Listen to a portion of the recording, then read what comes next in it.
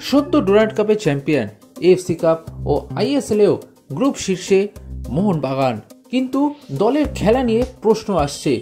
সদ্য বসুন্ধরা কিংসের বিরুদ্ধে ড্র নিয়ে প্রশ্ন উঠছে সমর্থকদের মনে। এত ভালো দল, এত বাজেট নিয়ে তৈরি করা দল, কিন্তু কোথায় সমস্যাটা হচ্ছে? আর সেই সমস্যাটাই তুলে ধরলেন প্রাক্তন ফুটবলার প্রসূন ব্যানার্জি।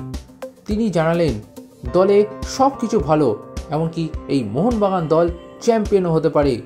কিন্তু সমস্যাটা কোন জায়গাটায়, সেটাই তুলে ধরলেন প্রাক্তন এই ফুটবলার। একদম বাজে হয়ে গেল। তা না, মিডফিল্ডটা ফোর ফোর টুতে যাচ্ছেও বারবার। ফোর ফোর টুতে আমার মনে হচ্ছে যাওয়া উচিত না।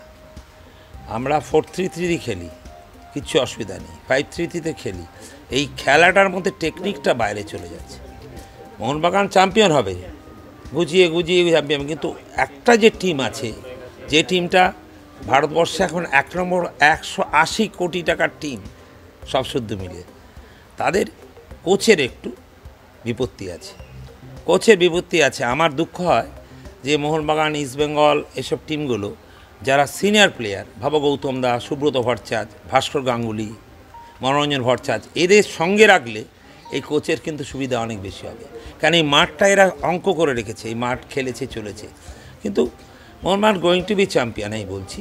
খুব ভালো টিম তো।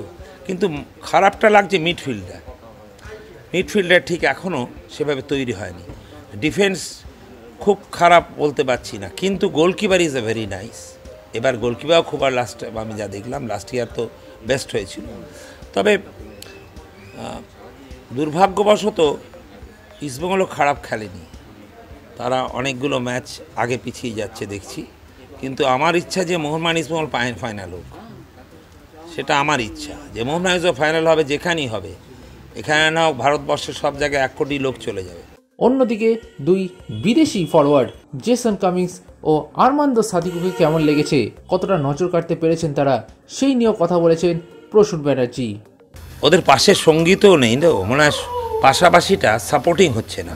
খুব ভালো প্লেয়ার কোনো অসুবিধা নেই। বল দেখে বোঝা যায় রিসিভিং ট্যাকিং মুভিং আমি খেলা দেখি খুব। সেই জন্যে আমার কাছে মনে হচ্ছে ওর জায়গা থেকে এসে ওদের দেশ থেকে এসে এটা ঠিক এখনও পাশে আসতে পারছে না। এই লেভেলের কাছে আসতে পারছে না। কিছুটা অসুবিধা তোর হচ্ছে সেটা আমার বারবার মনে হচ্ছে। এবং আমি লিখেছিও আমার মোহনবাগান কোচকে। আমি একটু লিখি এরকম ইস্টবেঙ্গল কোচ এরকম লিখি আমি। এক একটা করে লেখাও করি তোমরা দেখবে দু পাঠাবো। যে ভালো মন্দটা কীভাবে হয়, আমি খুব এটা নিয়ে সারাদিনই ভাবো সারা রাতই খেলা দেখে যাচ্ছে, এরকম। তবে ইস্টবেঙ্গলেরও উচিত একটা সুন্দর টিম বানানো, তাতে অর্থিক কেন এখন ভাবলে হবে না, এখন ভাবতে হবে প্রফেশনাল খেলা। অর্থটা নিশ্চয়ই ইসমালকে সাহায্য করুক কেউ আমি আবেদন করব, তাহলে আবার ভালো হবে। কেন ইসমাল মোহনবাগান আর মহাবাড়া স্পোর্টিং থাকা মানে একটা বিরাট ব্যাপার। Mohun Bagan going to be champion এই বলে গেলাম গোয়িং টু বি চ্যাম্পিয়ন পারবে না। Extra time.